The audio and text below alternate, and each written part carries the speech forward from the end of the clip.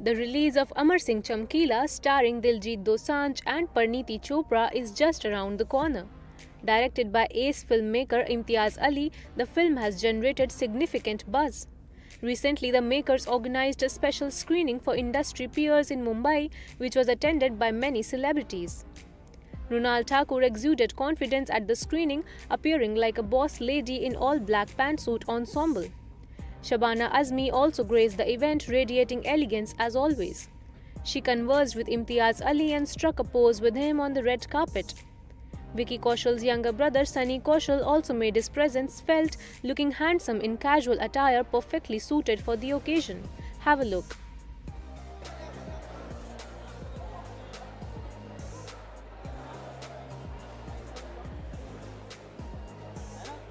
Daisy Shah, Mahima Makwana, and Saiyami Kher looked breathtakingly gorgeous in their respective attires, enhancing the glam quotient of the event. They dressed stylishly and posed for the cameras, radiating beautiful smiles.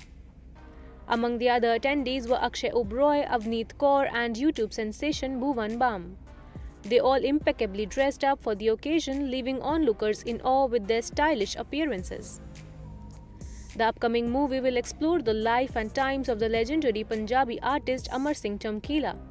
Known for his record-breaking music and electrifying live performances in the 1980s, the film features Diljit Dosanjh as Amar Singh Chamkila and Parineeti Chopra playing the singer's wife.